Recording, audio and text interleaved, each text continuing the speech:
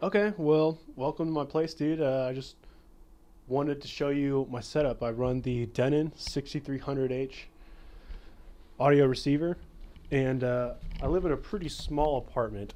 So I, I don't do the seven speaker setup. I actually do five speakers. I, I've got all um, ELAC Uni-Fi line. I have two ELAC Uni-Fi UF5s. They're the towers. And I use those for my left and rights. And then I use the Uni-Fi Center.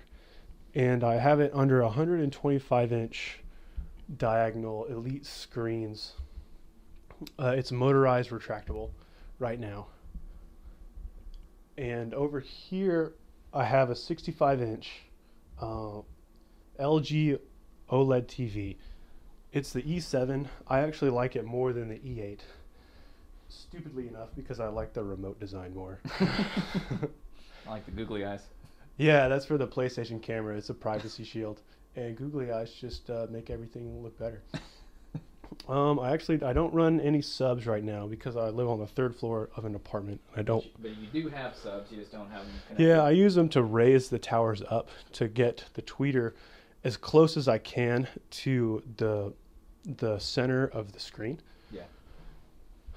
And um, I I guess this is the brain of the whole setup. This is Microsoft's uh, flagship all-in-one PC. Right now, we're watching one of that home theater dude's videos right now.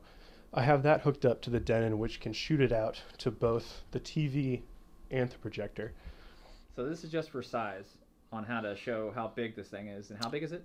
Oh yeah, this is a 128 inch diagonal monitor. It's actually kind of like a souped up laptop with this awesome touchscreen attached to it, and it's actually adjustable.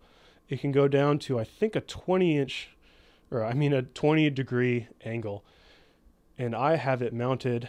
This is a, a magnetic keyboard that I've put together. I have it mounted to this adjustable arm, so I can use the computer in both seating positions in my apartment for I call this the captain's chair. This is my recliner.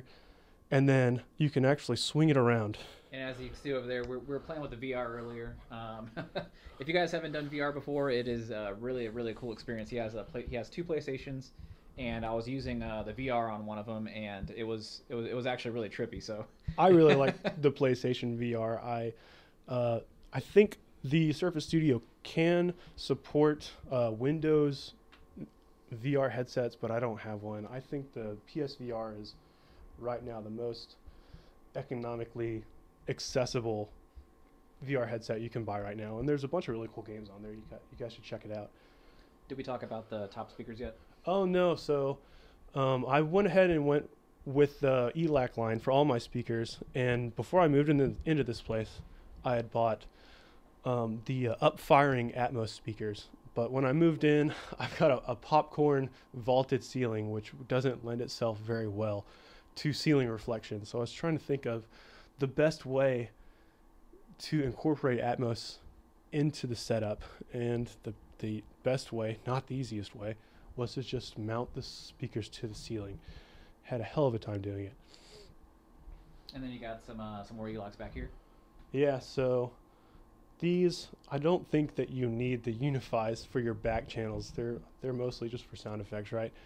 But initially, I had bought the bookshelves for the front two channels, and then I got the towers on sale, so I moved the Uni-Fis to the back channels, and then the other two unifies that I were I was using, I moved those into the bedroom. I actually had an old uh, an older screen that I set up in the bedroom with just the two the two speakers and I put a short throw projector in the bedroom so I can watch stuff in bed.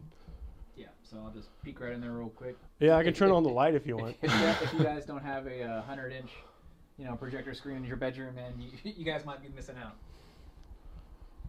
But yeah, cool. This is uh this is actually a really cool setup, and I like doing this because it's actually uh, very very uh, cool to come out and see different people's setups. It doesn't really matter if you guys have like 100% theater grade stuff I mean, everyone's going to work with what they got. So I like to to to see everyone's setups and to see uh, different people's ideas on how to get this stuff uh, properly um, installed and basically to see what you guys are working with. So, I mean, um, I, I, really enjoy coming out here and, and, and, checking out these different things. So, if you guys are in the Dallas Fort Worth area, I'd really like to extend this this opportunity to um, go ahead and contact me down in the description or the comments, and maybe I'll be able to come out and check out your home theater at the same time.